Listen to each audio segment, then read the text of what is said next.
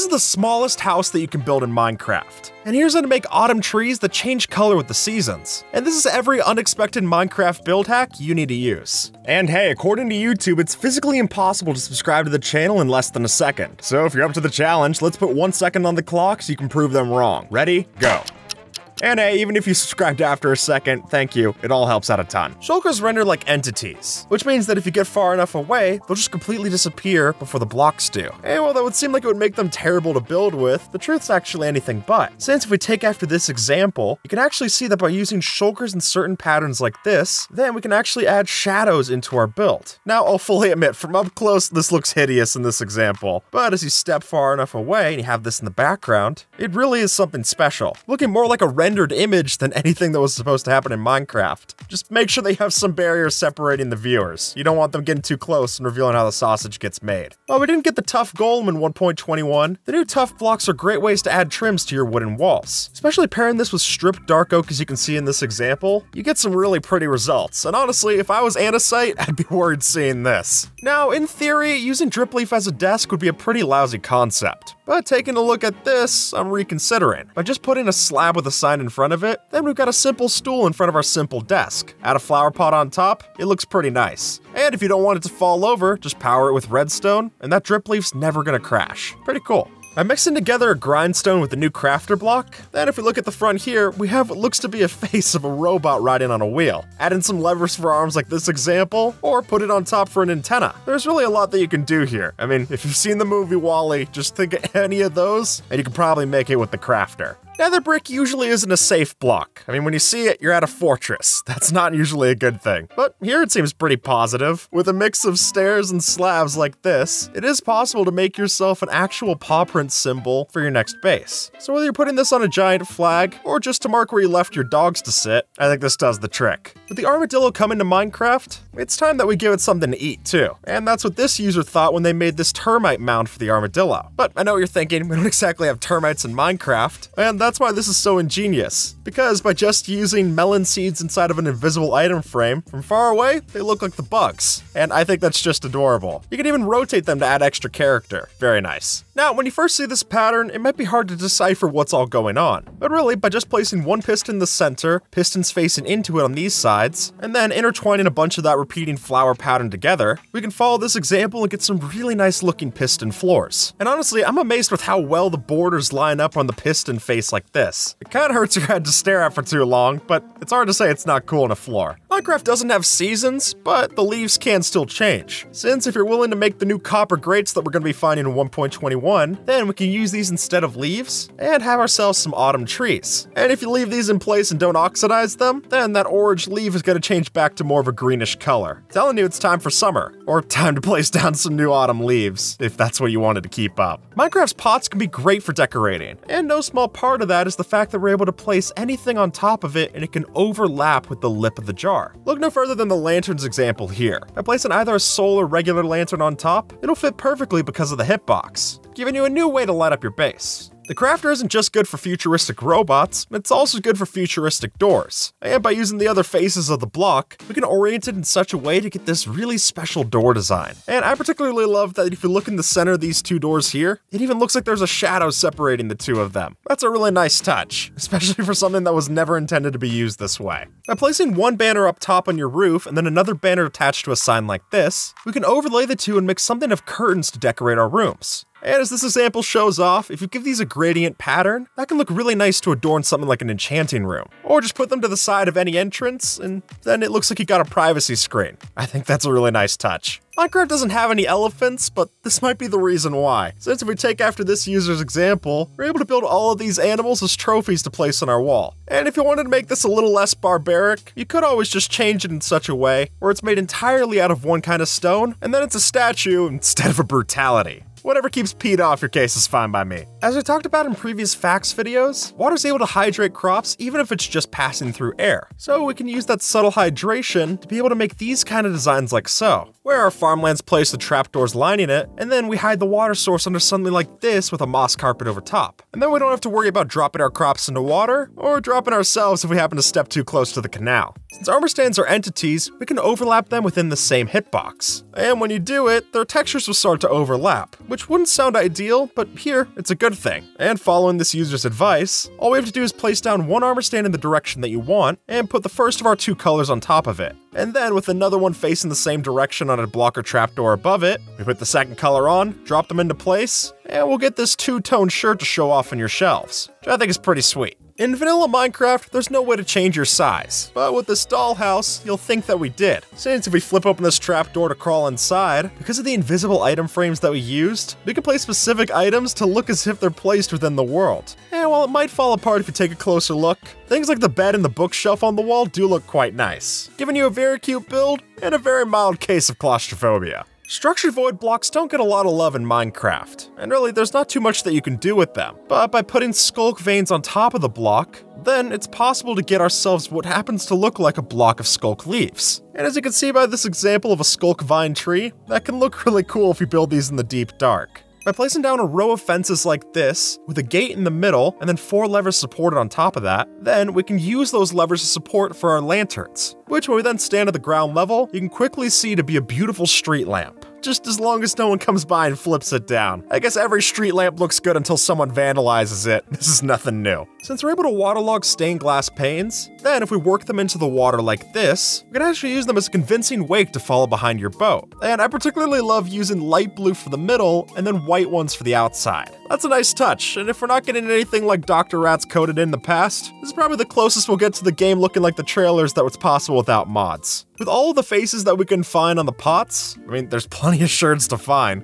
you can get pretty creative in the kind of totem poles that you build. And what I like particularly about this example is not just using the pots, but also these other blocks that mesh well with the color design, like the composter near the top and the note block near the bottom. Added some mangrove buttons and it blends really nice. Plus, we can store stuff inside of the pots now, giving you both a totem pole and a piggy bank. Did you know that smoke from a campfire is able to pass through a block? Well, sure enough, that's to be the basis for this new grill that we're building. Since with a couple of looms like this, we can lay it out in such a way that it looks like we've got a smoking grill for our outdoor patio. And honestly, when the alternative is building one of these out of a bunch of iron and minecarts, for those of us on a budget, I think this will more than do the trick. These are the rarest blocks to build with in Minecraft, because you can't build with them. But if we take after this user, we might just have a way to incorporate the sun and moon into our designs. And for me personally, I love the creativity here. And the fact that these only show up on the build for a limited amount of time, I think makes it even more special, making it more of a light show than a static statue. Here's why we used a Hoglin in our build. If we were to summon in a Hoglin using this tag is immune to zombification, then we'll be able to keep it alive long enough to play dead. And then after we add in the Dinnerbone name tag to it, with some end rods over top lane out horizontally, we get ourselves the perfect pig on a spit illusion that'll be ready for our next Hawaiian luau. Here's how to make a fancy pirate ship without spending all your gold doubloons. Since by tucking in a spruce boat into a mix of trapdoors and stairs like this user does, we can make a very convincing little boat to put in your shipyard. And not to mention the fact that by using an actual boat inside, we can still get in and ride the boat as usual, though where we ride it to won't be that far. But that's still a lot more functional than most build hacks, so I'll let it slide. In the nether, you'll find warp trees, and now the dead warp tree. And the way that we made this is by mixing together muddy mangrove roots for the stem, and then dead coral blocks for the leaves above. Eh, and while that's cool enough, I love the idea of putting hanging roots underneath the blocks to look like dead warped vines. And really, this just makes me want to see a whole dead forest made out of these. They look that good. If you just put two big drip leaf plants facing into each other, then their texture merges so perfectly that we got ourselves our very own drip leaf bench, which I think is a perfect addition for any park that you put this in. But if you're worried about those drip leaves falling down as soon as you sit on them, don't worry, because with a couple of redstone torches underneath, we have a survival-friendly way to make sure that these don't fall. No animals were harmed in the making of this hack, but it sure looks like they were. Because even though there's no moose that are in Minecraft, by using just a simple stair and some closed fence gates, we can make it look as if we mounted the mob's head right on top of our wall. And that way, we'll be able to take after Gaston and start to use antlers in all your decorating. You probably don't think about using levers for building, but after seeing this, you'll reconsider. Since just two levers on a cobblestone wall, we can get a nice piece of detail for your next wall. And really, as this example shows, you could tuck a whole bunch of things inside the middle of these two levers and have it look pretty cool. And personally, I'd like to take after this comment on the post and make one of these with an amethyst crystal. That would be particularly cool to see. And plus, it would serve as a light source. By just using a couple of stone slabs and stairs, we can redesign our mine to look so much better. And now, these different layers of depth actually make it look as if someone mined there, instead of just leaving a smooth wall of ores and rocks. And while there's no way to make ore slabs in the game, if you cover them up just right using plain stone, you can at least make pretend that there is, and I think that's much better than what we had before. When banners do their swaying animation, they clip within certain blocks, which seems like a glitch, but we're gonna use it as a feature. With trapdoors in this banner pattern, we can make it look as if this face is actually blinking, or at the very least, checking its surroundings before it goes back to sleep. With just a tripwire hook and some trapdoors, we can add a convincing tree tap to your tapped trees. And from that point, it's up to you to choose what kind of sap you're collecting from the tree. Whether that's using a honey block next to a birch tree for tree sap, or a redstone block with a crimson tree to look a bit more sinister. And for such a simple idea to pull off, this really is creative, and it won't take up much space either. So if you can't go through all the effort to build a custom tree, at least you can make a bone meal tree look a bit more custom with one of these. Look at how much of a difference we have between this leaf block and this one here, and the only thing that we added in to make that was a couple of vines like so. And to me, it's so amazing how far we can go with such a simple design. Though I must mention that if you plan on adding this, you might want to invest in some string as well. That way you can limit how far the vines actually grow, and make sure that your new plant doesn't get out of hand. Don't light your candle on fire, but instead, you might want to try this. See, by adding in unlit gray candles to the top of our iron fence, we had the perfect detail in for our metal bars. And what's even better in my eyes is that the wick out the top even kind of looks like barbed wire poking out. A nice touch. Normally we do our cooking in a furnace, but how about a pot? Since, as we'll see here, by just putting a cauldron full of water on top of a campfire, the smoke's still able to pass through the top. And then with a couple of fence gates pointing into it, and some armor stands locked into place like so, this looks like the perfect place to cook up your meal. And what's even better about it is that we can still interact with the campfire underneath. So if you really wanted to, just place down your meat, and you'll still get the food cooked all the same, just with a lot more visual splendor. Instead of stairs, here's why you should use walls. Since when you're trying to get a slope in your build, whether that's for a roof or something else, you'll notice that walls made of the same block are capable of making a smoother yet steep slope that you can show off in your build. And if you don't have a stone cutter, these do end up being cheaper than using stair blocks as well. And in my eyes, that's a win on both fronts. Instead of using dripstone for your traps, let's use it for walls instead. By using the different heights of the spikes, we can make a much more menacing fence around your base. And to me, this starts to look like the kind of pointy wood walls that you'd see in something like Clash of Clans, making this an even better fit for your early game rural base. Here's how to make your bamboo farm look 10 times better. Since with the help of the debug stick, we can add in these different leaves to your bamboo stalks and essentially make them into a whole new plant. And then by adding in fences on the side and iron chains above, we've got ourselves a new farm to put on display. And honestly, with how fast bamboo grows anyway, it might be nice to have the chains so that the rest of it doesn't get messed up as soon as they grow. If we place down two spruce trapdoors like so, and then add in chains over top, we have ourselves all that we need for a cute little swing to hang off of your tree. And honestly, I love how the metal bits on the spruce trapdoor seem to blend in with the chains that we got here as well. It all just works so perfectly. This archway is entirely possible using no commands, and the reason for that is because rails don't break on trapdoors when we flip them down. So we can make this design without using any structure voids or barrier blocks. Just have a rail up here, have the two ends point up to it, and then break the center so that they'll stay in place. It really is that easy. With a mix of carpet and wool blocks, we can lay out the perfect rug to have ourselves a picnic. And then by using pressure plates for the, well, plates, we can really make this look as if it's lived in. And for my money, the best part of this whole facade is using an invisible item frame to add in a little shovel for a spoon. That's just perfect. If you place a trapdoor next to a slab, you notice that the hitboxes lay out in such a way that a trapdoor almost looks like a half-half slab in some way, or a quarter slab, I guess. And with that logic, if we place our spruce trapdoors next to our spruce half slabs, we get an extra gradual way to detail our builds, and one that from a distance, I think really sells the illusion that we're going for. We added gears to Minecraft, rather, we added them back because they used to be in the game. And now, with a mix of copper stairs, we can create a number of different gear designs like this. And folks, there's so much variation here. You could use more stairs for a jagged one like this, or use less of them for one with more rounded edges. And whichever ones you choose, it's gonna work well to make your industrial base, well, industrial. Here's how you should use your grindstone in an enchantment room, since placing it like this is boring. But if we add this in, then it's not a grindstone, but instead a pet owl, which fits a lot more with the magical aesthetic of the room anyway. So if you're playing on a server with the player head data pack installed, take this as your sign to build yourself a Hedwig. It certainly looks better than the alternative. If we just line a couple of signs upward like this, then we can make that tower look like it's a fallen rope bridge. And while it might look silly from some angles, I think if you're looking at it dead on, this will definitely do the trick that you're going for. And honestly, I'm sad that there's no way to climb this, otherwise we'd have a hilarious huge ladder to put inside of our base. Minecraft banners don't show wear and tear, but we're about to add both of them in. By using gray patterns like this one on a gray wall of stone, we can make it look as if the banners were torn during a battle, which will help us tell the story of a more desecrated part of the castle. And since we can use even more muted colors for the dye, we can add those in and make it look as if the banner's fading with age.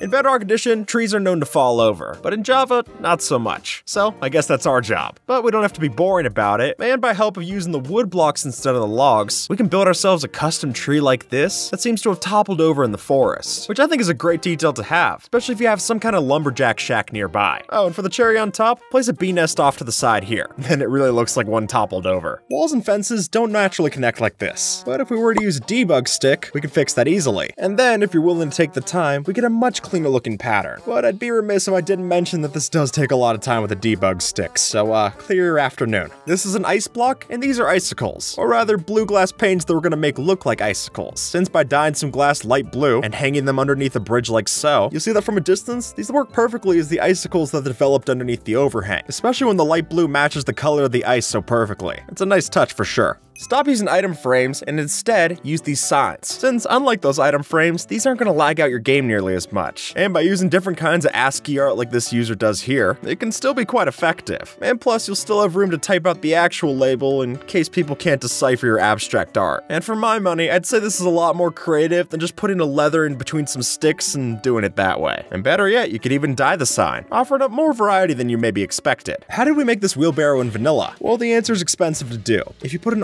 armor stand on an enchantment table for the right height, you can add in a netherite chest plate for the wheels, and then add in a minecart on top for the barrow, with finally a fence gate to finish off the handles. But again, expensive, so only do this in creative. Did you know that there's hay bale half slabs? Well, kind of. Because if you get a far villager like this one and then tuck it underneath a slab or stair, it's possible that the hat on top actually blends in with the hay bale texture, which is pretty ridiculous, but if you have a villager breeder, I think it's more than worth a shot. Because as we all know, nothing comes cheaper than villager labor. Just make sure you don't look too closely at its eyes when it's begging for help. This tank might not be intimidating, but it sure is cool. And we built it all in vanilla. Since by mixing together anvils for the wheels and trapdoors for the supports, we then have all we need to tuck a boat on top and a lightning rod at the front and make this into the perfect mini tank replica. Just don't expect to go anywhere very fast in it. With the help of glow ink sacs and gray dye, we can make our signs look like they're screwed down to the wall. All we need to use is this Unicode symbol called the bullet point, and we'll get that convincing round shape, which if we then type our text in the middle of the sign, it's gonna look a lot more important, and it should get your friends to pay attention to the message, so long as they don't die a different color. How do we get this fish inside of a block? Well, silly as it may seem, the answer is actually pretty cheap. All we have to use is a waterlogged chest, an item frame with a map, and then place a glass block over top. And if we follow the steps just like this user lays out, we'll be able to get our own tropical fish inside of our blue glass aquarium. Or rather, should I say a fish bowl, because at this point, it's pretty small. But I think that adds to the charm, and it's definitely worth building in your next base. By taking brick stairs and alternating them in a pattern like so, we have it in just a way where it looks like there's a brick missing from each of these steps. And I think that's just perfect. And not only is this a little funny thing to put in your world, but when mixed into a wall like this example, it actually adds some convincing depth. And when you zoom out, it might even leave some people wondering how you actually built it, which I think is true of all the great build hacks. With glowing item frames, we can make lights without using any redstone. Like this example, using a mix of glowing item frames with regular item frames for a traffic light. And this could work with either the invisible variant, or even having the item frames visible when you build it in survival. And honestly, I think this could work even better if you used fully colored maps of green, yellow, and red, but that's gonna be a lot more expensive to place the 16,384 blocks needed, instead of just the one block in an item frame. With a couple doors like this and trapdoors placed horizontally, we're able to overlap these on top of our armor stands and get ourselves a very own functioning wardrobe. And while the armor that you place inside might be expensive, I guarantee you that the wood needed to build this wardrobe is nothing like that, giving you at worst a cool build, and at best, it might even help to hide some of that armor in case you need it. With help of custom player heads, we have just what we need to make ourselves a replica of the Mars rover. And by using one of them as a camera up top, this really does sell the illusion. And I think if you were to tuck one of these inside your next mesa biome, that might be all you need to turn that red desert into the red planet, which is a lot cheaper than spending billions on a rocket to try and get there. Trust me. This might not look like a hot tub, but just wait. Since it's possible for campfires to emit smoke through a one block thick floor, we can place them underneath this and use the smokestack to stand in the steam from the water. And the good news is that if you get too close to the heat of the campfires underneath, the water up top can still cool you off if you catch a blaze. With just a handful of wooden planks, we can craft together the pressure plates necessary to line the top of our fences and add a cool little railing to our build, which in my eyes is such a simple solution that I'm amazed that I never thought of it. But after seeing this user's post, it's definitely something I'm gonna add into all my builds. Just maybe don't put these wooden pressure plates next to the fences in your animal farm. Otherwise, all you're gonna hear is clicking noises, and then it won't seem like as good of an idea. Mud and wood might not seem like they go together, together, but like this, they actually do. By just mixing in the new mangrove roots with the mud, we get the muddy mangrove roots that we need for a transition block. And that'll help us to blend in the trees that generate in our mangrove swamp, even better than the ones that spawn naturally. If you look closely, you'll notice that some Minecraft textures you don't expect to work together do it just perfectly. And such is the case when you put the target block next to the quartz pillar texture, since they both have these evenly spaced lines that blend together nicely. And that could give you some cool opportunities to use these for, not just for a target range, but maybe it's a way to mark a pillar for a secret as well. Or maybe it's graffiti, the choice is up to you. If you place two glass panes in a line like so, it makes for a convincing base for a modern looking table. And what I love most about this example is that this user used the lack of a texture to imply the T shape for the legs of the table. Very clever. Here's how to make your table look expensive without actually spending that much. Since we're just four stairs facing into each other like this, we can line the top with trapdoors, and there you go. We have a perfect table design without having to do any kind of complicated building. And from there, if you scatter around a few chairs, this will already be perfect enough to put on display. Though personally, I'd rather use birch trapdoors instead of the oak ones that this user did, since those will blend better with the sandstone that we're using anyway.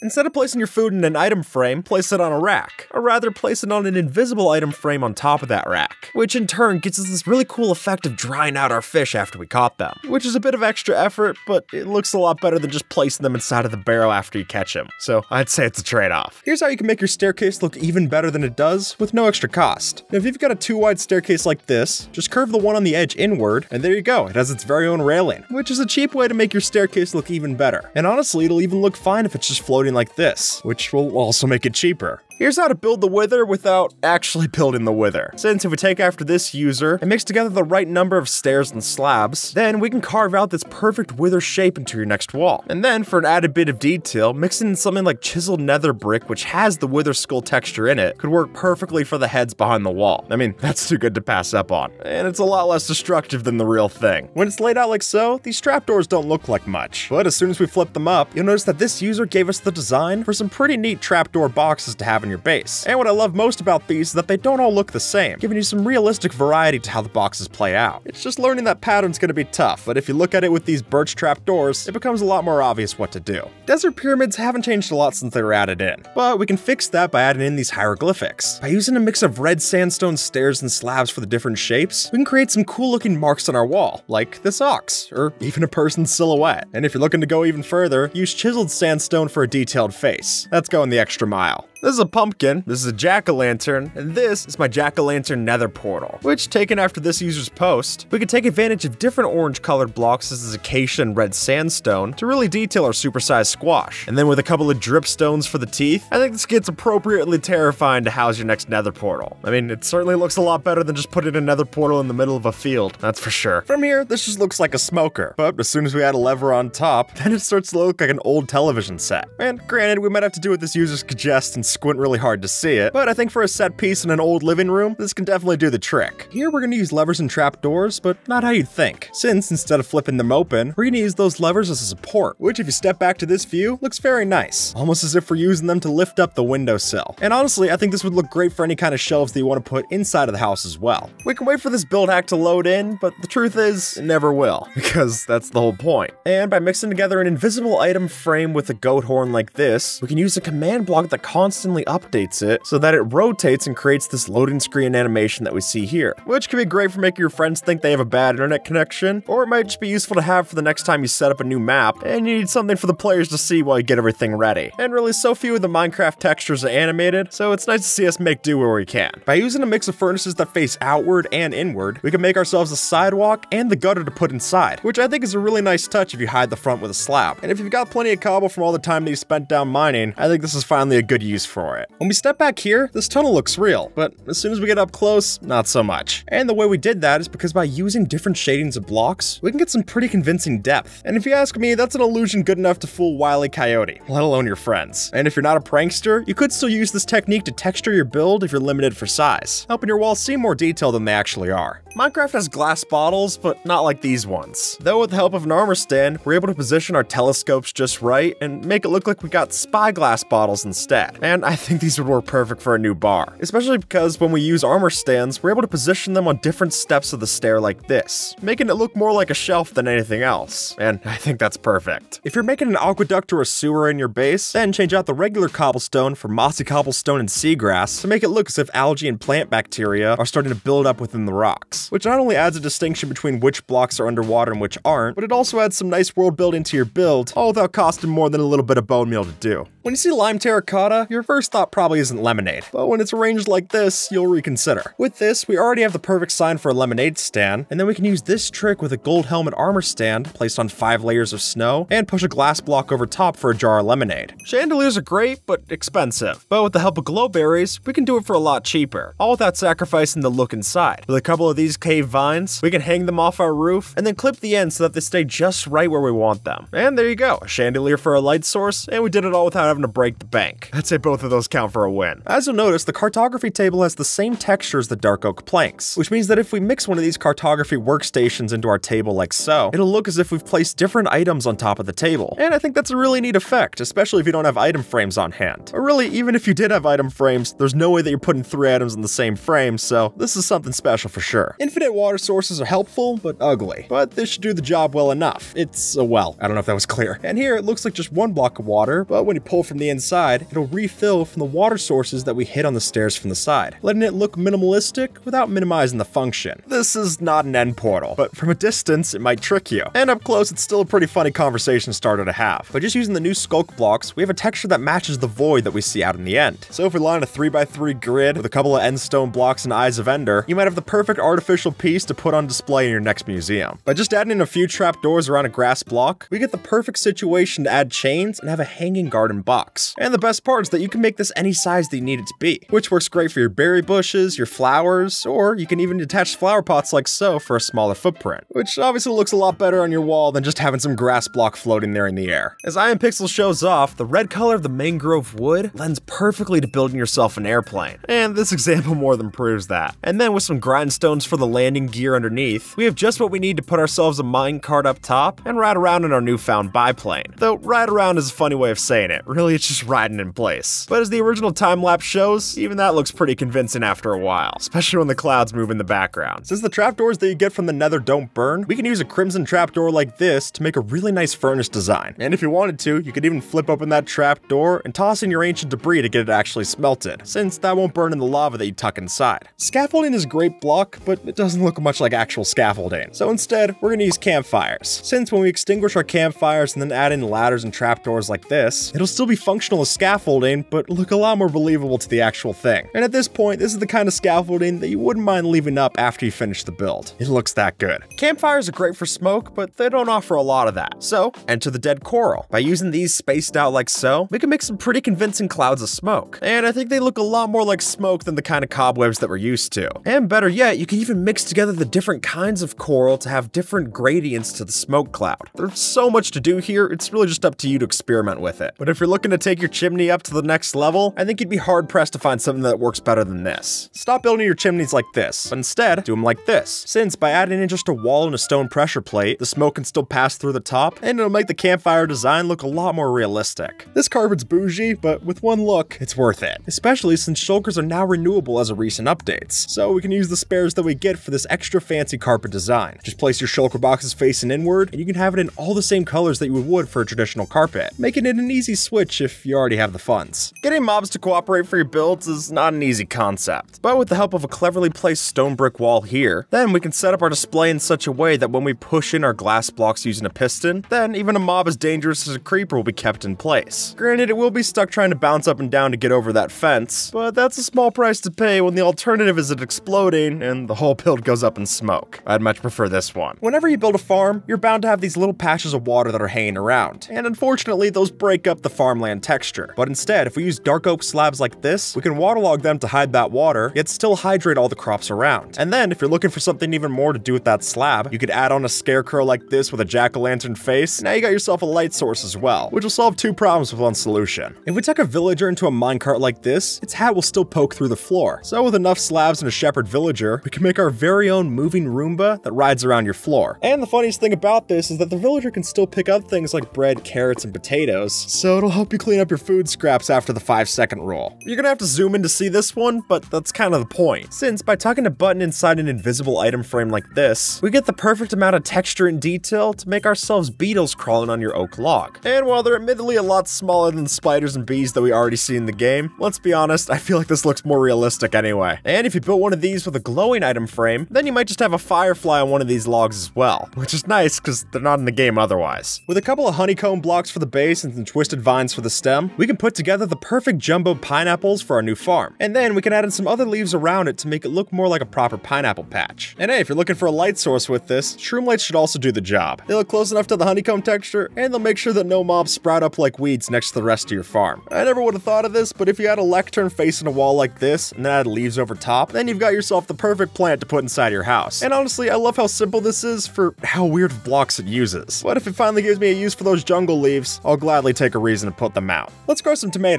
Since if you think about it right, the rosebush plant actually starts to look like a tomato stalk. And with armor stands dropped into them like this, we can make it look even more as if the green of the bush grew on top of these wooden sticks, much like it does on a real tomato farm. This build hack is expensive, but it's worth trying, since while it's more common to do paths over dirt, by using iron ore and raw iron blocks like so, we could do the same over our stone. And following this example, it can really start to look like something special. Just make sure that none of your greedy friends come by with a pickaxe. You're really giving up the goods here. With just a wooden shovel, we're gonna make your door look 10 times more realistic. Since by changing the grass that's underneath the door to a grass path, now it'll finally have that small gap underneath that'll make it look like a real door. Because at least in real life, if there's no gap underneath the door, it's not opening that much. So this will fix our ones in Minecraft, all while being insanely simple to do as well. The observer has a face texture, so we gotta put that to use. And I think this robot design is the perfect way to do that. With a blast furnace for the chest and an observer for the head, it looks like a convincingly steampunk robot. And the best part is that using that blast furnace, you can smell your items inside and give a nice effect to the robot to make it look like it's coal powered. And similarly, if you want it to look deactivated, just don't smelt anything inside. Simple as that. You might have seen this build recreating the entire universe in Minecraft, but here's how to do it yourself. Since with the help of glowing invisible item frames, we can mix together nether stars and sculk veins to have ourselves our very own piece of the cosmos right up in our ceiling. And then with magma blocks and frog lights for the sun, the whole thing really starts to come together, especially if you use something like shaders. The new mangrove trap doors from the 1.19 update work amazingly as wheels, and this wagon proves it. Since even though it's tough to get a proper circle in Minecraft, I think these are the closest we're gonna get without using Mysticat style commands. And then if we put these to use by making a wonderful wagon like this user design, I think this especially sells the illusion. And it's a lot better than some of the other things you can build with the trapdoor. Now you might not have seen it, but this block's called the structure block. And I know it has a weird texture, but we'll use that perfectly for our new sound system. After getting this block with the give command, we can stack two together like this on top of an anvil, and it'll look like we have ourselves a tower of speakers. So if you have the admin privileges to get the item, it's worth putting in your house as a flex. If you've got plenty of banners, then you have just what you need to make a couple of these ghosts that were designed by Gold Robin. And I love the little detail of having different facial expressions for each of the ghosts. And really, whether you use glass blocks to support these in the sky, or light sources so that they glow in the night, this build trick is just what you need to turn your house into a haunted one. And you do it all without needing a creepy pasta. Instead of placing your bed on the floor, place it in the sky. With this user's hammock, we get the perfect thing for our new mangrove swamps, or really any place that has trees. Just put your bed on some trapdoors, connect it using stairs, fence gates, and carpet, and the end result will be more than worth it for a good night's rest. If you mix in a couple of upside down barrels into your floor, then you'll notice that we get quite the pattern to spice up your spruce texture. Oh, and not to mention the fact that you'll be able to fill up all of them with some hidden storage space, which I guess gives us a literal way of tucking our money in between the floorboards. A nice touch for sure. Instead of using stone or andesite for your build, use both together. And what I mean by that is that if you were to add in patches of stone within your andesite floor like this, it'll create the illusion of broken floor tiles. And then it just looks like the concrete underneath is getting exposed, which I think is a good way to mix together these two blocks, especially considering you're gonna get a lot of both on your next mining trip. Might as well put it to use. With just a blue glass block and a tripwire hook, we can make this simple little water cooler for your office building. And while that alone should do the trick, if you want to make the water in your water cooler even colder, let's use an ice block instead, just as long as it doesn't melt from a nearby light source and spring a leak. If your base has a narrow floor plan, here's why you need trap doors. Since with a couple of these, we're able to separate our stairs from the floor above, but it won't make the room feel any smaller. And it also keeps anyone from accidentally falling into the staircase, which I think is also a benefit, at the very least for safety. And is it simple? Sure, but it's also effective, so I don't think that's a bad thing either. Here's how to turn your pistons from this into this. And the secret behind this isn't doing something like McMakestein's mod, even though that is cool, but instead by just using the set block command with different parts of the piston, we can separate the head from the body and then place fence post lining in the middle. And there you have it, a giant piston. And if you really wanted to, you could even make this into the sticky variant as well. Just don't expect it to retract anything. There's no off switch for this one. Stairs aren't the only block that you can use as stairs, and this modern design proves that. With a mix of end rods for a light source and these carpet covered iron trap doors, we get a unique floating staircase that still makes sense. And while this looks great, the only thing you should keep in mind is that you can only walk up these seamlessly if you start first from an end rod. Because if you start from this block down here, you're gonna have to jump up at least the first step. With the way that banners sway back and forth, we're able to get a neat animation when we pair them with item frames. And you'll see that with these blinking lights. Now, surprising as it may seem, there's no command block trickery or redstone happening here, but rather the item just occasionally clips through the banner as it sways back and forth, and that'll give us the perfect thing to line your tunnel with. And if you want to make the item frames invisible but you don't have access to commands, just make the backdrop out of birch planks too. And there you go, problem solved. This build hack is a violation of the Geneva Convention. And now that I got your attention, let's talk about how we built it. Because luckily, what's actually happening here isn't as cruel as it seems. But by tucking a villager into place in a cauldron and then using a Dinnerbone name tag, we can flip it upside down, but because it's a cauldron, it's not gonna drown inside that block. Not to mention the fact that that's not how the Dinnerbone name tag works anyway. And then with a couple of chains on top to keep it in place, we make it look as if it's hanging inside the pot. Even though, luckily, the villager's a paid actor and no one was harmed in the process. This escalator doesn't use any redstone, but instead we use looms, because from afar, the lines on the loom start to look like the ridges that you see on escalator steps. And if you add in a command block system like this, we can even make it functional with the teleport command. From afar, these might look like sea pickles, but zoom in close, and it turns out that we actually use candles in the same place. But as you can see, these do work pretty well as the version of our own dead sea pickle. So if your aquarium happened to spring a leak and kill all of your coral, I think this is a nice touch to add in as well. Especially considering we can place as many candles in a one block space as we can't see pickles. It's just too perfect to pass up on. If we fill in the gaps of our wall with the brick wall block, then those brick walls make it look as if the wall got damaged and the facade's starting to fade off. Which I think is a great touch. Not only does it add literal depth to the build, but it also adds depth in that it tells more of a story with it. Which is a lot to accomplish from just a couple of bricks on a wall, so I think this is a pretty good deal. Here's how to make a pool table. Since we're able to overlap carpet with signs, all we need to do is add green carpet to lay over an oak and spruce sign, and that'll make it look like a pool cue when you look at it from the top of the field, which I've got to say is much better than this old design of using grass blocks and signs around the edges. By just mixing a couple of crimson planks into the inside of a trapdoor barrel like so, we can make it look like we have our very own grape stomping barrel, which is not only useful for your next farm, but it might come in handy if you need any grapes at your next lemonade stand. And honestly, for how cheap this is to build, I don't see any reason not to put this next to your next vineyard. I mean, it's at least easier to come by than the purple core that people use. I think that's a definite plus. This is a melon, and this is a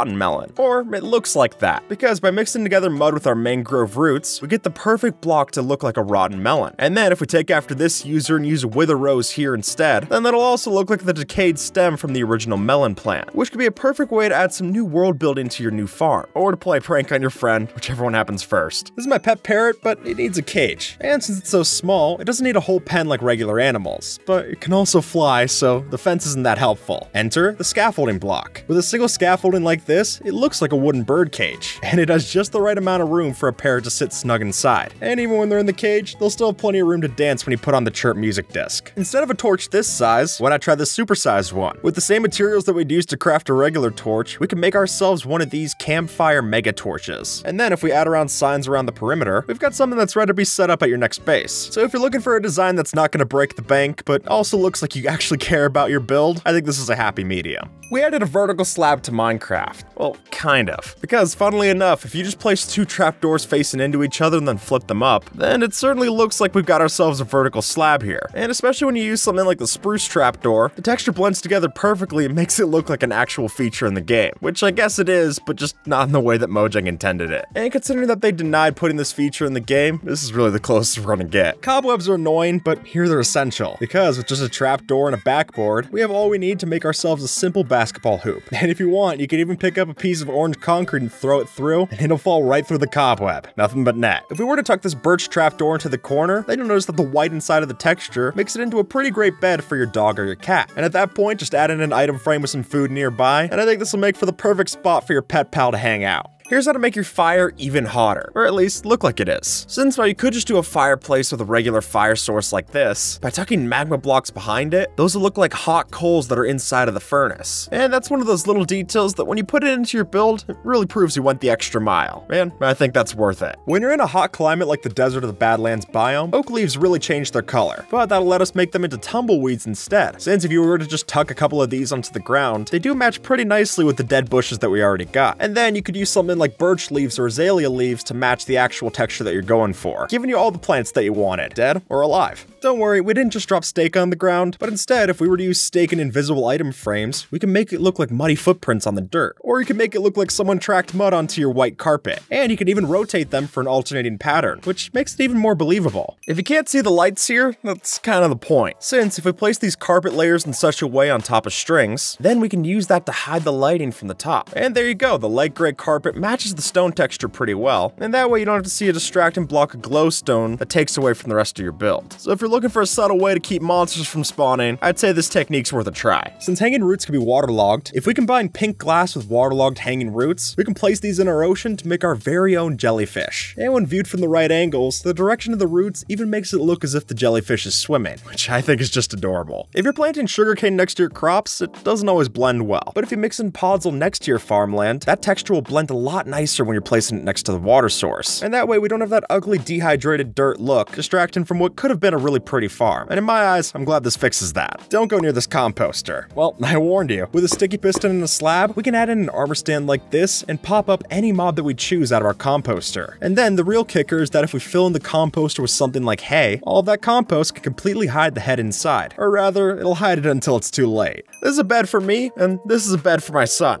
Or sure looks like that, because by using some sneaky armor stands like this, we can shrink down our regular items to a much more manageable size. And with just that, we'll have ourselves a child-sized bed and a child-sized chest to keep all their items. Just don't try to open it up, then the illusion will fall apart. We might have built this out of mud, but these aren't mud blocks. Rather, by using brown mushroom blocks like this, we can mix it in as something of a smooth mud texture. And honestly, seeing this proof of concept, I'm amazed that smooth mud wasn't added in with the rest of the textures. Because seeing this, it really does look nice. Here's how to make a working cyborg in Minecraft. Because if we tuck an Elder Guardian in a place like this, its AI is just smart enough to follow you around with its eye, us the perfect amount of creepiness for this working robot. Overall making this Elder Guardian feel a lot more like one of the Guardians from Zelda. If we mix together the cherry wood with a crimson stem, then when you place them all on top of something like Nylium, you'll notice we have the perfect thing to go together to create a really cool infected tree stem. Though I guess the only issue is that you couldn't build this in the actual nether, since this wood would still burn, but you know, it's a dead tree. I guess that just makes it even deader. Now I want to switch this over to a desert scene, since I want you to see just how well the cherry leaves can actually work in this biome. And by just switching out your sandy floor for a couple of cherry leaves, we have the perfect thing for a really natural looking carpet. And best yet is that the cherry leaves actually don't change with the desert color map, unlike regular leaves. I think you can see which one looks better. Now, one of the most versatile blocks that got added in this update is the new hanging sign. And while it's pretty costly, since to craft one of these, you need six of the stripped logs and two chains, you do get some really cool looks out of this. Starting with, if we just lay down some trapdoors like this, and then a hanging sign underneath both of these legs, we get a perfect little picnic table. And I think in a desert setting like this, the bamboo trapdoor one looks particularly nice. Just, you know, make sure your friend doesn't come by and flip them up. It's not much of a table, you're really just taking an L. And while it's impossible to place these hanging signs by themselves, all we have to do is link them up to something like a trap door, and then we'll have the perfect thing for our little railroad crossing. Now granted, it doesn't lift, so it's more of a railroad stopping, but because those hanging signs have collisions, they actually give us a great way to make little railings for our bridges. I love that bamboo placing sound.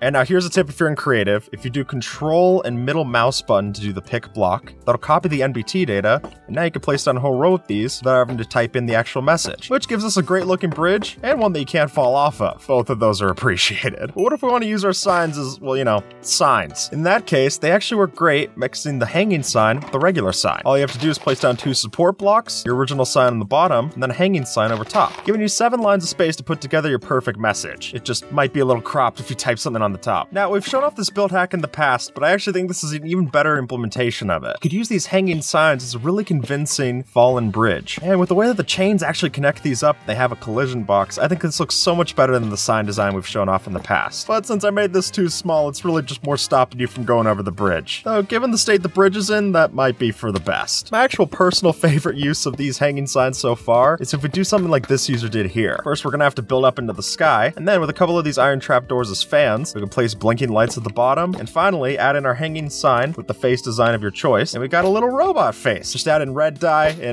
it's a lot more of an attack drone, which I would be angry too if someone came by and broke my buttons. Now, while it might be tough to track down the new armor trims, that doesn't mean that they're still not very useful for build hacks. So if you manage to get your hand on some of the Vex ones, then we can mix that together with our iron or netherite chest plates and get some really cool looking designs. Now, what we want to do here is mix together the opposite color with each one. So the quartz with the netherite and the netherite with the iron, which when you put it together, gives you a perfect little suit and tie. And I mean, the invite said black tie optional, so I hope that means pants are optional too. And we're not the only ones that armor trims look great on. Since if you were to dye a leather cap red, and then add that together with a coast armor trim and some quartz, then when we step inside and put this on top of an armor stand, if we drop that into place on three layers of snow, we can push a block in, and now we got a little book on our floor. And the real test to see if it works is to put other bookshelves around it. And even then, I still think it holds up. Plus, we didn't have to torture any librarian villagers like we did in the past for the same effect. It's a point for humanity as well. And for another update on an old design we've done in the past, we're gonna make an even better floating lantern than we've done before. Since by taking a light in the center, adding some banners around the sides, then all we have to do is attach one of the new hanging signs underneath, and because we can angle these 45 degrees, we can add in little flags hanging down from our lantern. And at that point, you can add in as many or as few as you want them to be. They'll even look great at nighttime. And visible too, in case you want to tuck a hidden message above your friend's base. And speaking of a hidden message, probably the king of that is the new chiseled bookshelf. Now, by itself, it doesn't really look like a bookshelf, just looks like a shelf right now. But if you lay out a few of these and start tucking in the books in the right places, you can actually use this as a form of pixel art. And while I wouldn't say it's exactly hidden when it's the only books placed in the case, if you add in some other ones around it, then you can start to actually hide a message in here. Though if you build one of these, make sure you have a good leather farm, since just that little high message took me 34 of these books. Now with all the new types of bamboo that we have to play around with, such as the mosaic, the planks, and the actual stripped bamboo, it's a joy for building, and particularly in desert scenes. By just mixing these blocks together with some smooth sandstone like so, we can get some really nice color palettes going on. And then you could even mix up the patterns like this, whether you're just doing something simple like a wall like this, or if you want to go more out there with a pillar design like so, I think really any of these would work. And since with bamboo we get ourselves a new wood type, that also means that we have a new bamboo pressure plate. But now, if you were to do one of these, place down some raw fish, and then a bamboo mat like so, you'll see that although it glitches out a bit, you got a perfect little sushi mat. Now in the past, we've recommended using hay bales for thatch roofs. And while they look great, they do have an ugly red band that goes around the side. And trust me, it's not usual for me to put ugly and red in the same sentence. But to fix that, if we use something like the new bamboo wood, then this not only looks a lot cleaner, but it also gives us stair and slab variants to mess around with. Plus, different variants for the mosaic and the regular bamboo type. And at that point, the patterns can get really fun to play around with, even if what I built kinda looks like a straw hat. Now, when bamboo was first released, the first thing that many fans noticed is that it looks a lot like spaghetti, especially the mosaic block. So why don't we just embrace it? Since with an invisible item frame and a mosaic block like this, we can again put a heavy weighted pressure plate over top, and we got ourselves some spaghetti noodles. Now, scaffolding can be an extremely useful block to use in your build, but useful and looking nice aren't always the same. Though, with just a few of these bamboo trap doors, we can really take our scaffolding and make it into something that you're okay with leaving up after the build. And plus, it'll still be functional. So even if your friend comes by and kicks out the bottom of the scaffolding, you'll still be safe on top of the actual bamboo. Now, because of the way the strip bamboo has its different directions, if we add in a few to our street setting here, we can get ourselves some really cool looking paving to add to our road, which I've got to say, at this point, I prefer over the path block. At least I'm able to ride a boat over these without getting stuck, whereas path blocks, that one pixel gap is all it takes to ruin it for you. Or if you wanted to, you could take your strip bamboo and face it towards you like this, so then when we add detail to the front, it really starts to look like a window block. Now granted, you can't see through it, but that might be nice if you're trying to keep out passerby anyway. Now in the past, we might have compared pink wool to cotton candy, but if you look inside of the strip cherry wood, I actually think that's a much nicer texture. It's a lot smoother than the original, that's for sure. And then, with an end rod as the stick, we can mix this together with a little cart and have a perfect cotton candy shop. And I think the pink wool looks a lot better as the awning than it ever did as the dessert. And with 1.20's new archaeology, we have plenty of these new decorated pots to, well, decorate with. I guess that much is obvious. And while you can't plant anything inside of these, they do only have a one block hitbox, despite what it might look like with this little lip here. So if you add on different kinds of pressure plates on top of them, we can get some cool trims or lids to our actual pot, which is way more than we've ever been able to do with the small one. And I think the one with the bamboo looks particularly nice here. Or you can bling it out with gold, but that seems a little excessive. Maybe if you want a gold chain on your urn, I don't know. And while it's still true that you can't plant anything inside of the decorated pots, if you add on a fence post like this and then some leaves out the top, then you not only got a plant inside of your pot, but it also fits it better than a regular sapling would. Seems a little teeny. Now, as this piglin's unfortunately going to demonstrate, we cannot have piglins in the overworld. At least not for very long. But with the new piglin head that we can get through charged creepers, then if you have a zombified piglin that can pick up loot and give it the head, or should I say dispense, the head on top of it, and have ourselves our own piglet in the overworld. You just might also want to give it a golden chest plate so it covers up some of the entrails. Honestly, I don't know what to do about the double ear situation on the side of its head, but at least it's only one side of its head, so maybe keep your pictures to its good side. And in the new cherry blossom biomes, you're gonna find a lot of these pink petals hanging around on the floor, which not only look great as is, but because we're able to put different amounts of them on the floor, we can also use these for some really convincing pixel art. And with how many you place down, you can basically change the line thickness too. So for all you digital artists, this is basically asking for you to create something cool, or at least cooler than whatever I was able to put together. Or if you want to use these same flower petals a little bit more practically, then because we're able to skew how many are in a certain area, we can make some really cool looking curved path design. And for someone who hates building the traditional paths with variety like so, I would much rather just randomly place these down and have something cool come out of it. And come on, who doesn't want to walk on flower petals? That just seems so romantic. I'm get I'm single, so how do I know? Now, unlike in Zelda, these pots are actually pretty resilient, and they don't fall, which weirdly enough means that we can use one of these to make ourselves a hot air balloon, with a few chains connecting it up, and then, of course, the balloon, part of your hot air balloon, place a candle perfectly in the hole and light it to fuel our hot air balloon. And then you can use a debug stick to connect these up to the pot. And there you go, ready for takeoff, or stand still, whichever one you prefer, I guess. Now, while it's still true that we can only plant things inside of the regular flower pot, if we mix that together on top of our decorated pot like this, then it fits just right, the textures match, and we can still plant our bamboo inside. Or if you want nothing to do with plants, then it's worth mentioning that the decorated pots look great when placed on top of each other like this. Now you got yourself a great looking brick pillar. Or if you wanted to, you can do some mud brick walls on the inside, and when they connect up to the wall next to them, I think this could look great for some of the new rooms that you want to build. Plus, you can add 20 different types of variety to the patterns that you add on top of these. It's either a decorator's fantasy or the worst nightmare. I'll let you choose. Now, with the new seeds that we're able to get from the sniffer, when you plant them down, you notice that they start out looking great, but when they grow up, they look like they're an avatar reject. Another way to fix this for our pitcher pod is to place it down next to your potatoes and then place a string over top. So then, no matter how much time or bone meal passes through it, it's never going to grow up to be two blocks tall. And now you've got an overgrown potato to mix in with the rest of your patch. Just make sure you don't accidentally break the string while you're harvesting your other potatoes. Now, there's so many things to do with armor trims that I'd be barely scratching the surface here. So let's rattle through a few of my favorites. And the first of those would be that if you took some of these new Shaper armor trims and mixed it together with iron armor, then for the surprisingly high cost of three netherite, you could have yourself the perfect set of stormtrooper armor. And honestly, even without arms, I'm sure they're as good as shots as regular stormtroopers anyway. And if you do the same steps with lapis lazuli, and instead just use a snout trim on your chest plate, then just like that, you've also got yourself a set of Clone Wars armor. And we're not the only ones who get to use the new armor trim, since if we go down here and summon in a few mobs that can pick up loot, then you'll notice that sure enough, we can also kit these out in the different kind of armor trims as well, which might just be too costly to give them in survival, but for map makers, this can make for some really cool super mobs. If we take a set of red leather armor and then add an eye trim to the helmet as well as the boots, we can then also add a tide trim to our leggings, and finally a wild armor trim to our chest plate, until sure enough, we've officially given ourselves the full Iron Man treatment.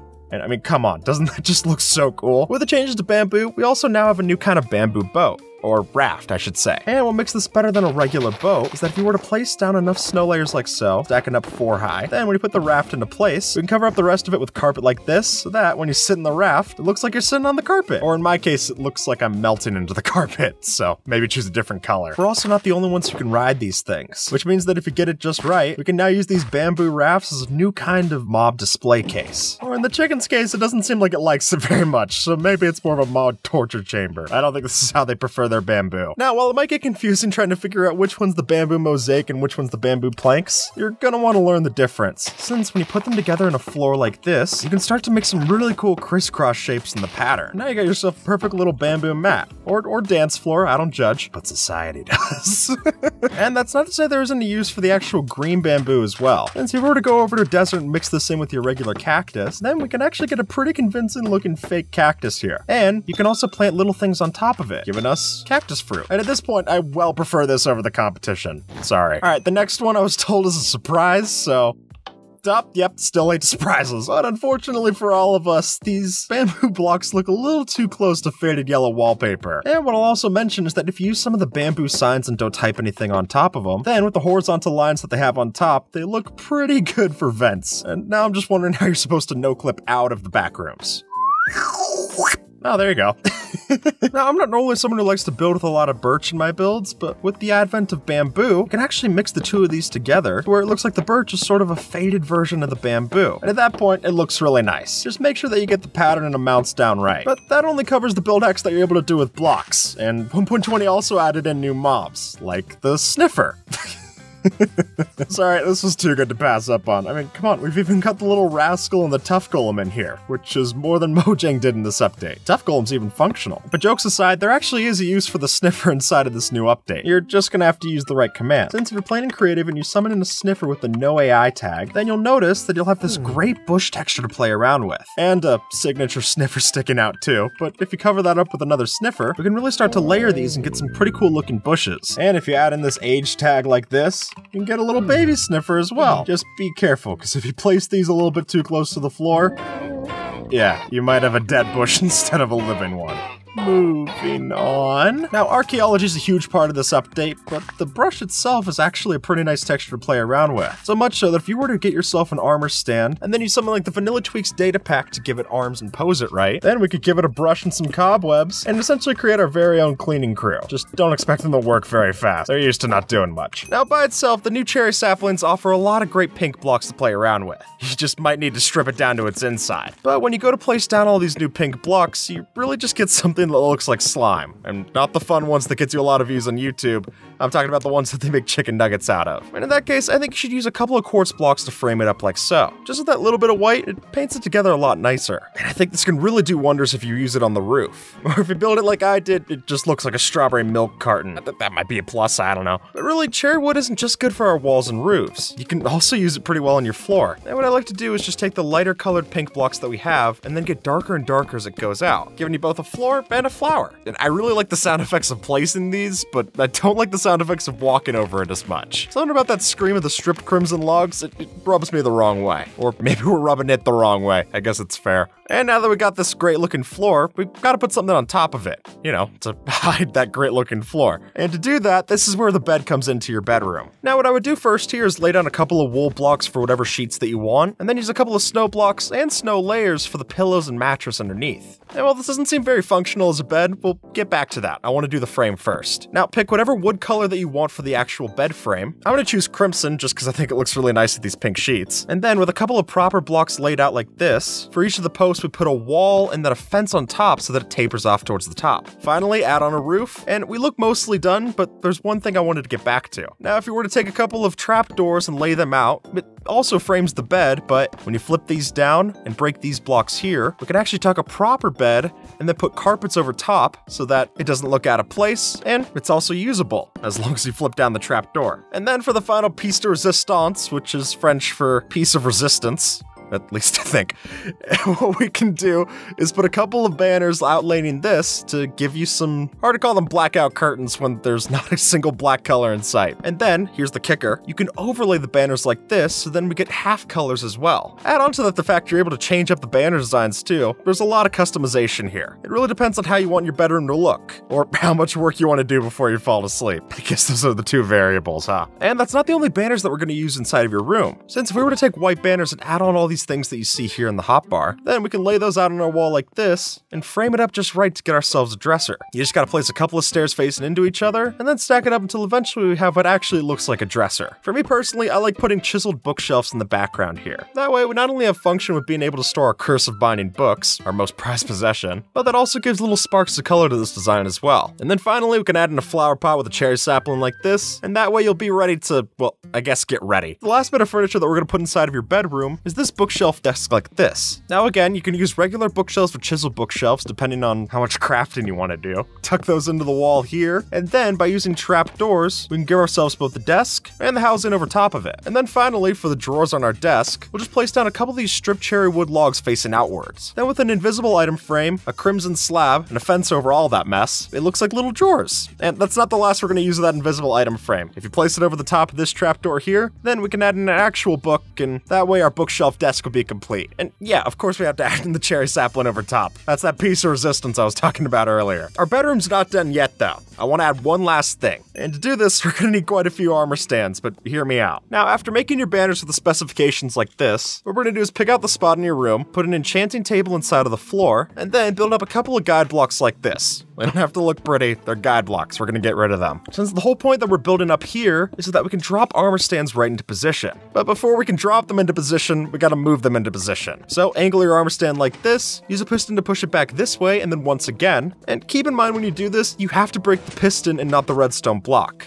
Otherwise, the piston just retracts and brings the armor stand back to step one. But once you've done that and you got inside of the corner, you can spleef the armor stand, and it'll drop into the corner, giving us the first of our legs for our plushie. And unfortunately for us, the phrase first of means that we have to do this three more times to get it all right. We'll eventually be able to push in a stair block like this using the same piston. Add on your banner, and it's got its little face. Yeah, I really like how this looks. And the reason that we didn't use a wool block for these white armor stands is because if you use anything that isn't transparent, the armor stands will just turn black in color. Which, I don't know, maybe that's something you want to do. In this case, it makes it look like a panda, which I also think is cute. And now that your bedroom's looking good, we can move on to the rest of the dream house. Quartz isn't the only block that works well with cherry wood. And really, using a couple of purpur blocks, those can make for some great pillars if you want to divvy up your build. And personally, I think it looks really nice for framing your doorway. And the doorway wasn't the only one that was framed, alright?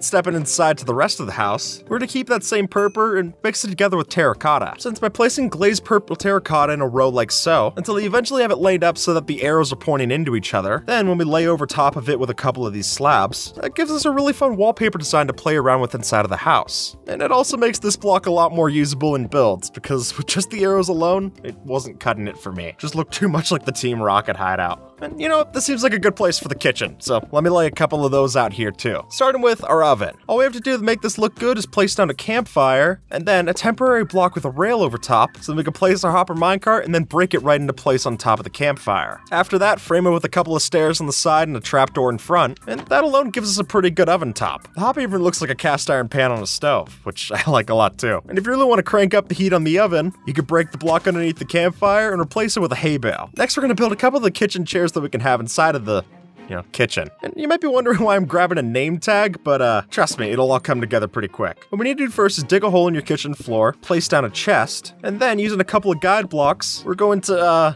relocate a llama into its new home.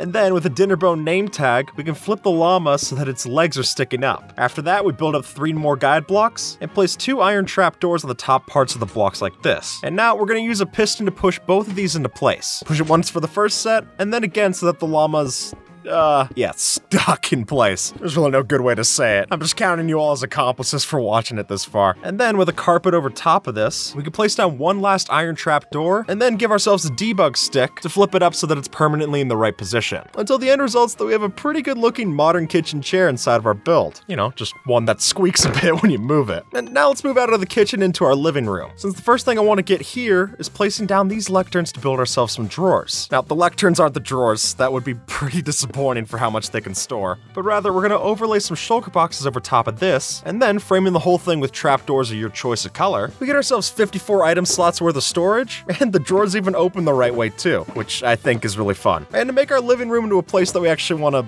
live in, I want to show you this new tool that I started messing around with. Now, without this Reddit post, I wouldn't have found out about this in the first place, so already credit to them. But there's this amazing tool called BD Studio that allows you to mess around with the new block displays that got added into the recent Minecraft updates. Meaning we can make a cobblestone block look like this. Although I don't know why you would want to. But if you have any knowledge of 3D software, you can use this to make basically anything in Minecraft. And so with this command that I'm going to put down in the description, if you put this inside of a command block, then we can press the button and get ourselves a fully formed couch made out of purpur. And come on, the idea that this is in vanilla Minecraft, that, that blows my mind alone. But we can even make it functional too, since right now, you just kind of phase through the couch, sinking between the cushions like lost change. But if we add in a couple of purpur slabs underneath this, then you can also crouch on top of it. Oh, uh, pardon my skin, I, I bought the ticket to the wrong movie. And that's not the last I want to use the block display command, but now that it's comfortable for us, I want to also make it comfortable for our pets. And the first step for doing that is the new pet bowl items that got added in in 1.20. Since by placing down the actual decorated pots that we got added into the game, and then covering them over top with carpet, then the little lip sticks through, and on ground level, this works great for a pet bowl for your new pup. And what's better yet is that you don't have to go searching for all the different sherd types in archaeology to make this. Doesn't matter how nice of a design is on the outside.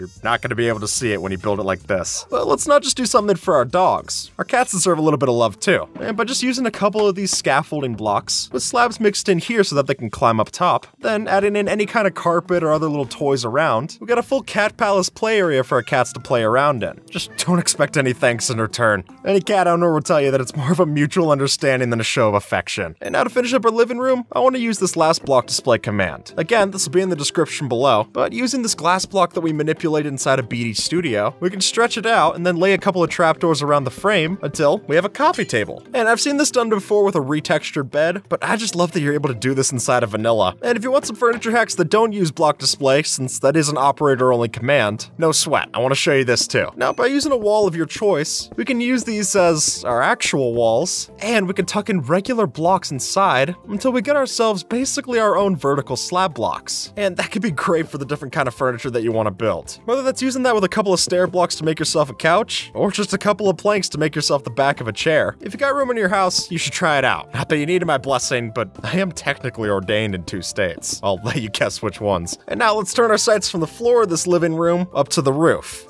or what would be a roof if I'd, remembered to build it. But by starting off with a fence of your choice, we can then add in a chain and then an end rod, and then one more fence to build the base of the chandelier. Now, we connect up that fence with a couple of fence gates like this, until eventually you have this crisscross shape, and then with a couple of fences laid into the corners, we can overlay the fence gates with trap doors, and then place some of their candles on top of the fence posts. Bam, a working chandelier. And one that's not too expensive with the blocks that we build it with. I mean, end rods are obviously late game, but you could also use a copper lightning rod here if you wanted to. I think that connects up pretty nicely as well. Or if you really just don't want to light up your build with that kind of floating chandelier, since without a roof, it's not really supported or safe, then with just two stair blocks facing in like this, we can place down the dragon egg and a quartz pillar block like this until we eventually have ourselves a table lamp. Or if you don't want to use the dragon egg for obvious reasons, then to make a lava lamp, all you gotta do is put a couple of flower pots on top of each other and then a cactus in the bottommost flower pot. Look, it's even got the little bubbles floating through the liquid. And now I want to take us outside to show how we're gonna light up out there as well. Now first you place down a wall and then three fence posts coming up on top of it, outline the sides with trap doors, and then flip them down so it connects right. We can add in a sea lantern, two more of these fence posts, and then trapdoors and slabs on top, until the end results that we got a pretty cool looking lamp post. I mean, these even look like the ones that are outside of the actual Barbie dream house that you can go to. Alright, we've talked about a lot of pink so far, but that's been neglecting all the pink petals that we can use too. And while I've shown this off for pixel art in the past, I think this might be my favorite application so far. Now, see, you can place these pink petals in each of the different four corners of a block, and then stack them up like candles until there's four flowers inside of the block. And with that, we can get some really nice curved edges until eventually you have yourself a perfect looking heart right next to your build. So if you already placed your Minecraft beds next to that special someone, I guess this is the next step. And at this point, I don't know what's harder to find, a cherry blossom biome or a girlfriend. I guess both depend on how much Minecraft you play. and moving on. That's not the only last. That's not the last thing I want to do with cherry petals. Since with the cherry leaves that we're able to get from the cherry saplings, we can mix these together with our pink petals. We did a great looking gradient from pink to green, which is just begging to be used on a path design. And because we use moss in this example, that's also something that would work in every biome that you placed it in. And the same is true with azalea leaves, which we're going to use for our new flower bushes. Now obviously there's a case for just using the flowering azalea leaves for this, but I think we could do even better. Since if you have some bookshelves, I, I know, it sounds weird, follow me out, and then overlay our leaves on top of that, the way it works, the leaves actually cover all of that plank texture, meaning that we're just seeing the sparks of color that come through, making it look like flowers deep in a bush. And we don't have to just worry about placing flowers inside of this build, we can also put them on the outside too. Since with invisible item frames and sunflowers rotated like this, we can also get some external flowers as well. We're just a little limited on color for these ones. Unfortunately, all the other flowers that you place inside of the item frame don't look nearly as in place as the sunflowers do, so I hope you like yellow. And if you don't, then you could always take the the azalea bush saplings and mix those into the floor with a couple of grass blocks and moss blocks, and that'll basically give you a flower patch to play around with in the outside of your planes. And then for some of our extra flowers on top of this, if you take a spore blossom, you can't place it upside down, or right side up depending on which part of the flower you want to use. It has to be supported underneath something. But even just seeing the flower inside of an invisible item frame, or an armor stand if you use something like Vanilla Tweaks Data Pack, you can get some really nice looking flowers to decorate the rest of your flower patch. Even put it on top of a lily pad with the armor stand and basically have a pond flower. It just might be a pain to do all the commands here. Even sped up, this is gonna look terrible in the footage. Okay, I wanna show you why you shouldn't place your enchanting table inside of an enchanting room in your house, and instead, you should try it out in the Surface. Since after laying out the basic parts of the enchanting room, like your bookshelves and your enchanting table, then we can take after what Bic Gardener did here and use a mix of stone slabs and stairs for the pedestal for what's soon to be our owl statue. Now, first what we'll do is we'll use a couple of these acacia planks for the feet, and then with birch planks and stripped birch wood for the inside, we can use another acacia stair for the beak, turn in a couple of our birch stairs like this for the eyes, and after laying out a mix of dark oak trapdoors with a couple of spruce trapdoors, we'll have the wings and feathers ready for your actual owl. And you might be saying, how would this even fit inside of your dream house? And to that, I would ask you, what dream house wouldn't include this? We can even add in some chains and a lantern off this wing so that the owl is holding our light source. That's just so nice of it. How are you gonna say the owl's not worth it? if it's holding the light. So I have a couple of other things that I want to build outside of our dream house, like this swing set. Now, to build the actual part of the swing bench, we're to use trapdoors, but it's important to know that even though trapdoors are visually flipped down, you're able to put rails on top of them. So if we place in some of those, and then another trapdoor overhead, we can connect all the rails up top. Even after we break the middle one and replace it with an anvil, those rails will still be angled up to the top part of our swing. And at that point, you can house it in whatever you'd like. The original build is an overhang over the swing set like this, but I, I think this could even look nice if you just built it hanging off of your house. Or crane over a death pit like this. And for the outdoor furniture that we can actually survive on top of, I want to take down a couple of these stairs like this for a bench, and then most importantly, add in a campfire with some signs around it, which I think does a lot to make the campfire look even better. I mean, without it, it just looks like something that you're using temporarily. But just with this little change, it blends in pretty nice, and still has its functionality too. Or if you don't want to cook up anything out in the open air, then let's make ourselves a picnic too. First, we're going to alternate our red and white wool blocks into the floor like this, and then place down a cake with a couple of trapdoors outlining it. The, the cake isn't trapped, what we're just gonna do is we're gonna flip them up, place one more trapdoor on top of the cake, and then use a jungle trapdoor on the top like this. Flip it open and it's a picnic box. Alright, so we made good progress with our dream house, but we can't forget about our dog's dream house too. Now, much in the same way that we did the plushes from earlier, what we're gonna do is place down an enchanting table so that they'll line up just right, and then use a couple of guide blocks like this to allow us to drop the armor stands right into position. Now, dye it whatever color you want, I just think that red's most iconic for a doghouse. And then after you use a piston with the same technique to push these into place, push one to this side, another to the other side, drop them on top, and then we push in two quartz slabs like this into the middle of it. Place on a banner with these specifications on the front like this, that'll give us a little doggy door for the doggy house. Though, come to think of it, I maybe should have gotten a dog before I decided to build the whole house. Um, Welcome home, Grover. Look, your collar even matches. Placing down a couple of nether brick fences into the corners like this, we can outline those fence posts in string, place stripes of green and white carpet over top, and then in the middle here, use a couple of iron trap doors connected between two walls, and some white glass panes over top, giving us a proper ping pong table. And for the last of our armor stand hacks for this video, what we're gonna do is lay out a couple of slabs like this, then place down guide blocks so that we can push the armor stand right into place on either side of the slab. And once they're there, we're not done with pistons or the guide blocks. We're just gonna have to move them into this side so that our armor stands don't move out of the way. And then finally, we're gonna push a couple of these end rods into place, so then we have the rack for our barbell. And then to put on a couple of weights so you're not embarrassing yourself, you can use wither skull heads like this to line the outside. And now you got a weightlifting bench for either you or the Ken in your life. And speaking of Ken, the rest of our job for this video is beach. So we're gonna move over to this scene and start to build up the ways that we can hang out poolside next to our Malibu dream house. I guess unsurprisingly, the first thing you need is a pool. So with really just a couple of stairs waterlogged like this and slabs underneath, we can create whatever kind of pool shape that we want. And if you want to turn it into a hot tub, dig a hole like this and then place down hay bales and campfires so that that smoke can go through the floor and look like steam inside of your hot tub. And next to that hot tub, we're gonna take a couple of fences, place an end rod on top, and then use a diorite wall inside of the inside here so that we can place our white banners along the outside, and that'll give us a poolside umbrella that's closed, because, you know, I'm trying to work on my tan. Yeah, unfortunately for both of us, this is just a sunburn. but my soon-to-be melanoma aside, we're gonna build up the dock for the last thing that I want to add to our dream house. Now, while it'd be easy to just do this out of regular wooden planks, what I like particularly here is using stairs mixed in waterlogged, so then when you connect it up with railing like this, it looks a lot more like planks of wood that are floating on the ocean water. Now, grab whatever colorful concrete that you want of your choice. I'm choosing pink for obvious reasons. We're first gonna lay out eight of these blocks like this with a blast furnace at the back, and then by overlaying a mix of these quartz slabs like so, we'll have the base of what's soon to be our jet ski. Finally, a couple of polished blackstone for our seat back here, one more quartz slab and some carpet for the front, and then with an anvil and some end rods coming out for the steering, we can add on this very last lever, and our jet ski's ready to both ski and jet over the ocean water. According to Mojang, they are considering adding a crab to the game, but we've already added one. By using acacia fence gates and red sandstone walls and slabs, we have enough orange blocks to already make our base. And then if we add in orange candles for the crab's eyes, the whole thing's done. Plus, it's not as dangerous as an actual crab, so feel free to get close and check it out. And with that, folks, YouTube thinks that you might like this video, so see if they're right and have a good one, alright?